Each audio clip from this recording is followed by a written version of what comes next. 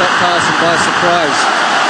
Started the ball out quite central, but he had a lot, a whip on it, and all of a sudden he realised it was going in the top corner. He'd better go for it, and then just couldn't quite keep it out. It's an amazing strike. It's really got the crowd on their feet. Well, in his heyday, good enough to represent China here in Hong Kong towards the end of his career, trying to get uh, nationality qualification to play for Hong Kong in international football. And if he keeps doing this, they'll certainly take him on. He's got another year's qualification to serve.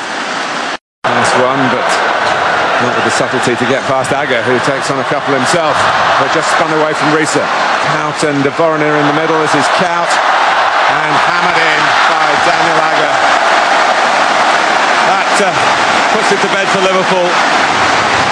They found a bit of extra zest and a little bit of extra quality. They lead by three goals to one. It's unselfish play by Kuyt in the end as well. Good break forward down the left-hand side from Riise. As the cross came in, came to Dirk Kuyt, and unselfishly set it back for Daniel Agger, who came in and really put his foot through it for the third goal. Times his run, Riise, very well off that last defender.